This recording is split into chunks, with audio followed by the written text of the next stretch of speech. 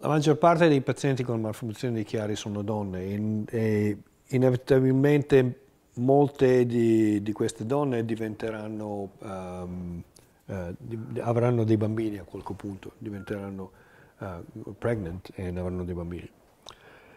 Uh, ci sono delle considerazioni per la malformazione di chiari.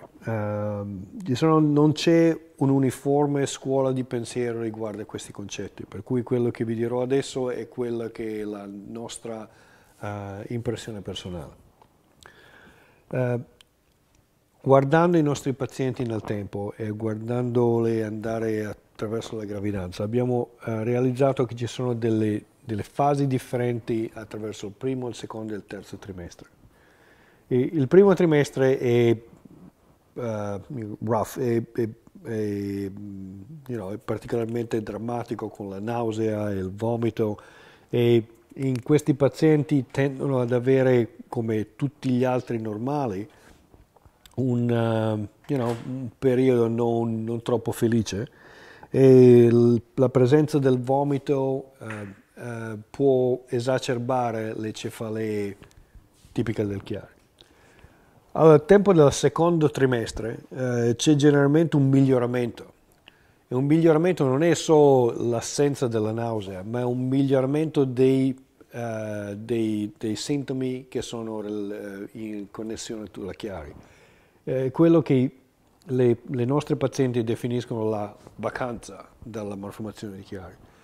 È come, se, è come se avessero ingerito una pillola magica e i loro sintomi migliorano non abbiamo un, una spiegazione eh, meccanica per queste cose, probabilmente ci sono molti, molti cambiamenti fisiologici che sono eh, spiegati da meccanismi ormonali, ma la realtà è che i pazienti di chiari sono peggio della normale popolazione durante il eh, primo trimestre, ma molto meglio della eh, normale popolazione, molto meglio di se stessi nel secondo trimestre eh, al punto che molti, molti, molti, molti, dei nostri pazienti vorrebbero stare gravide per sempre. Durante il terzo trimestre la situazione si complica. Eh, la situazione si complica perché la pancia diventa grossa, il feto diventa grosso e in parallelo alle vene varicose che si vengono a presentare c'è un incremento della pressione intraabdominale e intratoracica eh, per le condizioni che possiamo immaginare. L'incremento della pressione intratoracica e intradominale ha una ripercussione sulla pressione del liquore. La pressione del liquore è influenzata da due cose. Una è l'incremento di queste pressioni e la seconda è il fatto che il progesterone che si accumula durante la gravidanza aumenta il volume dei eh, liquidi extracellulari e il eh, liquor nel liquido cefalorachidiano è uno di questi. Per cui c'è un incremento del volume del, del liquor e un incremento della pressione. Questo è il momento più vulnerabile per pazienti non, non, non con chiari malformazioni di chiari. Malformazioni di chiari, il peggio che ti possa capitare è un pochino più di, uh, di mal di testa del solito, ma pazienti che hanno una cavità seringomielica uh, di di, molto estesa e molto sintomatica, questi sono i pazienti che sono più vulnerabili. Un'altra cosa che, eh, che, non si può fare a questo punto è, um, siccome non ci sono dei, dei controlli uh, di sicurezza che sono attendibili, uh, non si possono fare delle risonanze magnetiche molto spesso senza avere nel, you know, da qualche parte nella nostra testa dei dubbi che stiamo facendo del male al feto. Per cui cosa facciamo se abbiamo un paziente con una cavità seringomielica molto grossa eh, che sta deteriorando e sta sviluppando dei nuovi sintomi o dei, dei sintomi vecchi stanno diventando molto drammatici. Uh, quello che generalmente raccomandiamo è questo paziente di avere una risonanza magnetica alla 25esima settimana di gravidanza. La 25esima settimana di gravidanza è importante perché se a questo punto facciamo una risonanza e vediamo che eh, la cavità seringomielica, per esempio, è raddoppiata di, ehm, di dimensioni o c'è una propagazione eccentrica, tutte condizioni che sono dei eh, grossi campanelli di allarme. A questo punto, a 25 settimane di gravidanza, uno può fare un'induzione del parto e avere un feto che ha delle, uh, delle significative possibilità di sopravvivenza. Eh, per cui non vogliamo a questo punto che, che, la gravidanza divenga un pericolo per la madre, un, uh, la madre se questa madre ha una cavità seringomilica, se non vogliamo che il prolungare la gravidanza fino alla fine crei un rischio. Ovviamente se la cavità seringomilica se ne sta quieta dal punto di vista clinico non c'è nessuna ragione di, uh, di fasciarsi la testa o di creare delle preoccupazioni e uno può continuare il periodo di osservazione clinico senza fare una risonanza.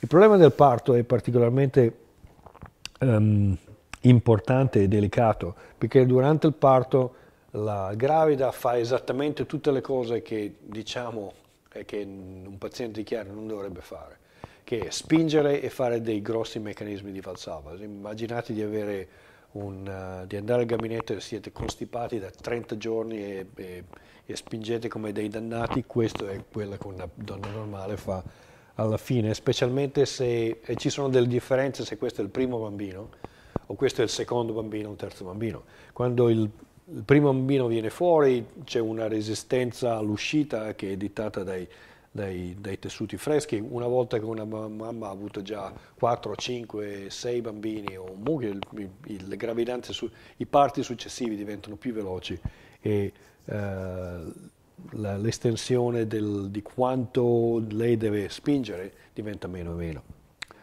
Now, a questo punto ci sono alcune persone che dicono, ah no, like, probabilmente non c'è, un grande pericolo, puoi fare tutto quello che vuoi. Altre persone che dicono, neurochirurghi dicono, ah tu devi fare una, un parto cesareo, è assolutamente necessario. Eh, il problema è che nel parto cesareo ci sono dei problemi di uh, anestesia generale e ci sono dei problemi di interferenza con, uh, con le attività respiratorie del neonato che non sono uh, privi di rischi per la madre e per il neonato. Per cui quello che abbiamo deciso durante il nostro periodo e che abbiamo cambiato un poco alla volta nel tempo è di avere un, una, un atteggiamento individuale per ogni paziente. Uh, per cui cosa facciamo come esperti? Abbiamo, apriamo un dialogo con il ginecologo e con l'anestesista ad alto rischio delle, delle, uh, delle gravidanze ad alto rischio per discutere queste situazioni. Cosa diciamo? Prima cosa, uh, fare un'epidurale non è controindicata se è fatta bene.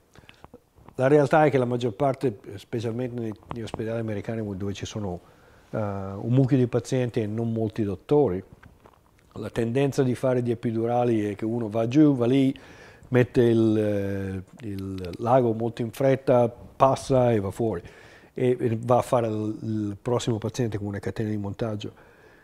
Il problema dell'epidurale è che se l'ago nel tentativo di accedere quello spazio, quello spazio al di fuori della dura, se uno fa un wet tap, che significa un, una, una, inserzione del lago che è uh, umida, può capitare che uno va un paio di millimetri più profondo, passa attraverso la dura e se quello capita, chi se ne frega, beh, tu uh, tiri indietro il, il lago e sai che sei nella posizione ideale e poi passi il catetere per, l'epidurale o ingetti per l'epidurale. Nei pazienti, quote unquote, per soggetti normali, questo non è un problema. Ma se uno ha una malformazione di chiari, può creare un, una perdita liquorale ridotta a quel punto. Se la perdita liquorale è eh, cospicua, può creare una cefalea posizionale. Cefalea posizionale è una in cui se tu sei completamente sdraiato, sei a posto, e ogni volta ti siedi su o, o ti metti in posizione retta a una, una, cefalea della Madonna e ti devi mettere di nuovo giù. L'unica cosa che lo fa andare via è andare di nuovo nella posizione orizzontale. Uh, le persone normali uh, possono riparare quel piccolo buco nella dura in una misura variabile tra un giorno e 15 giorni e non, non è un grosso problema dal punto di vista medico, gli dai dei, dei antidolorifici, lo idrati un mucchio e la madre natura fa il resto. Nei pazienti con chiari questo può creare un meccanismo di depressione.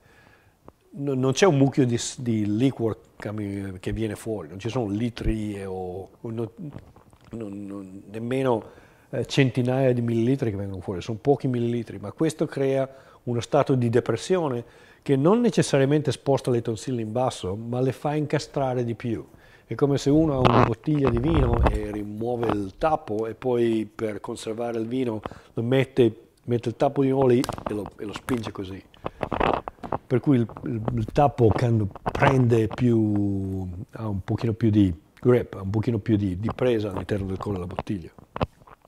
Se le tonsille hanno, sono un pochino più incastrate, questo significa che può avere un, un effetto più addizionale sul, sull'interferenza col flusso liquorale e può causare un corrispettivo incremento del quadro clinico, più sintomi.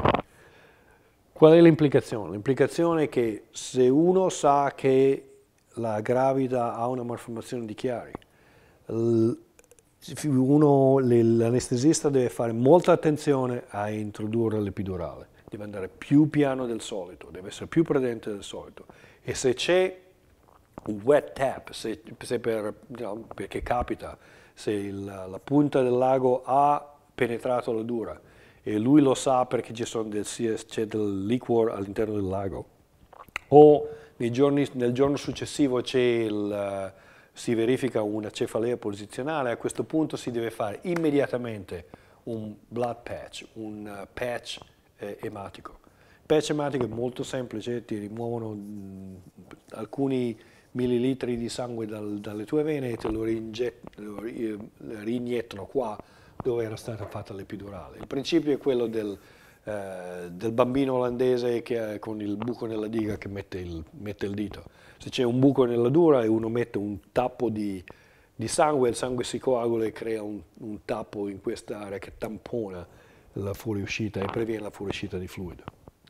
Per cui l'epidurale non è controindicata, ma uno deve farla attentamente e deve avere un, una, un basso threshold, un basso indice di sospetto che c'è stato qualche problema, lo deve trattare aggressivamente col patch ematico.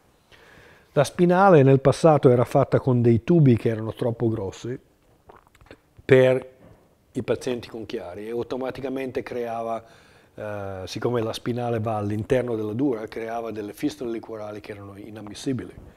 Eh, recentemente con l'evoluzione della tecnologia, eh, di, eh, i cateteri che vengono introdotti, sono di 27 gauge, che sono enormemente più piccoli dei, eh, degli, ehm, degli aghi della spinale epidurale e molto più piccoli degli aghi che sono usati per la puntura lombare.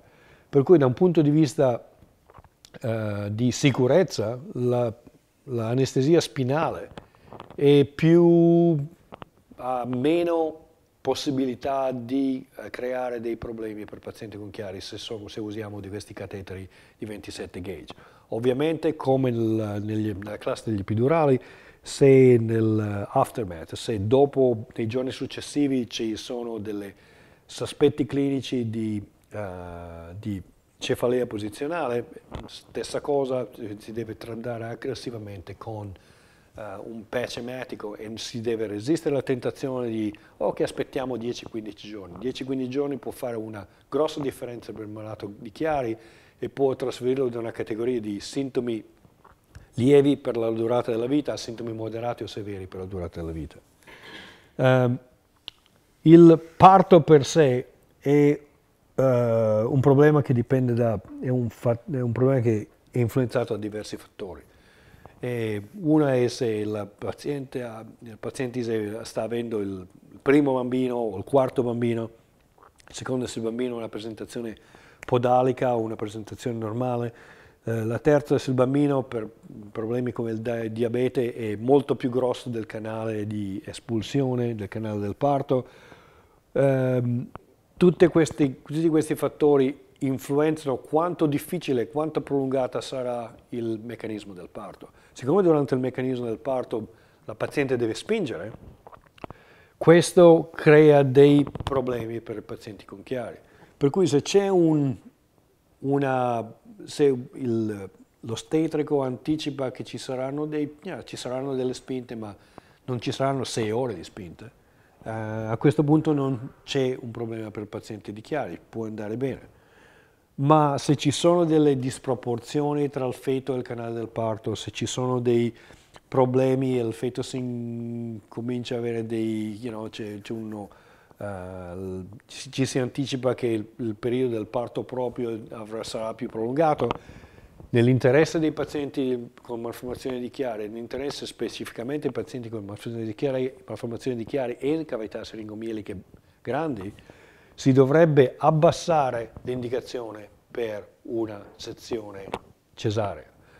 La sezione cesarea può essere fatta con diversi meccanismi di, uh, di anestesia, a, a, e questa sarà la, la preferenza del, uh, dell'anestesista. Uh, una parentesi per i pazienti con disordini del tessuto connettivo. I pazienti con la sindrome di Ehlers-Danlos hanno articolazioni che si Ehm, dilatano e si muovono in modo eccessivo, che non necessariamente un male, vedi gli artisti del, del circo, gli, gli, acrobati e i contorsionisti, e in, certe, in, certi, in certe occasioni può essere un bene, può essere un aiuto. Se c'è una leggera disproporzione o anche una disproporzione notevole tra il prodotto del concepimento e il canale del parto, siccome durante il parto la sinfisi pubblica, che è una piccola articolazione tra le ossa del bacino si dilata un pochino, un pochino per permettere il passaggio alla testa del bambino. Nei, questa dilatazione della sinfisi pubica, che è fisiologica durante il parto, diventa enorme per con, per, per i soggetti con uh, sindrome di Ehlers-Danlos, per cui tu puoi passare un camion e eh, non c'è, non c'è lo sforzo di spingere lo sforzo necessario diventa molto di meno. Per cui questo parametro è uno dei parametri che sono protettivi e che aiutano il paziente di chiari. Per cui eh, nost il nostro approccio personale è che non abbiamo delle ricette rigide, eh, segnaliamo all'ostetrico e, al, um, e all'anestetista che, che, lavora con l'ostetrico quali sono i nostri problemi e quali sono le cose che eh, dovrebbero usare e quali sono le reazioni che dovrebbero avere. Eh, non abbiamo, uh, un, non, non, diciamo di sicuro che le persone non dovrebbero avere l'epidurale, che non dovrebbero avere la spinale e che tutti quanti dovrebbero avere la sezione, uh, sezione cesarea. la cosa principale è che vogliamo che tutti quanti siano stessa, sulla stessa lunghezza d'onda, il paziente, il neurochirurgo o neurologo, l'anestesista e eh, l'ostetrico. E quando c'è questo tipo di comunicazione eh, i risultati buoni verranno di sicuro. Um, è molto raro che un paziente alla fine di tutto questo uh, sia talmente in, uh, in, bad shape, in cattive condizioni che richieda una uh, chirurgia d'urgenza. È molto rara nel nostro, nella nostra casistica è avvenuto solo una volta e non anticipo che, che, sarà, una, uh, che sarà una cosa altra che rara nel futuro. Um, per cui la gravidanza non è la fine del mondo, e di sicuro per un paziente di chiari, e di sicuro la seconda, la terza la quarta gravidanza, you know, buona fortuna, saranno molto più facili.